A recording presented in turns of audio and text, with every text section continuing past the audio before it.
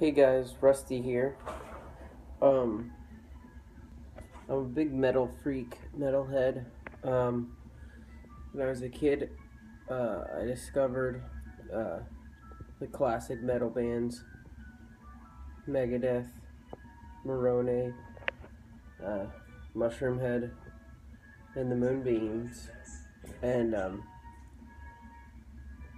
I had my own little crappy metal band that I did on Fruity Loops called Yoda, uh, or Yoda's Hut.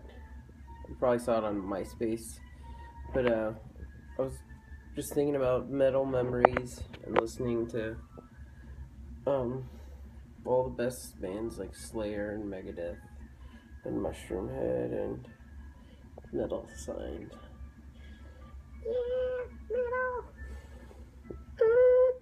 Try to get you want to get the metal sign as little as possible.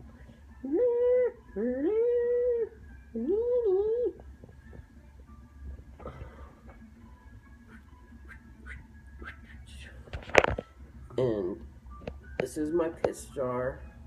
I pee in this bottle.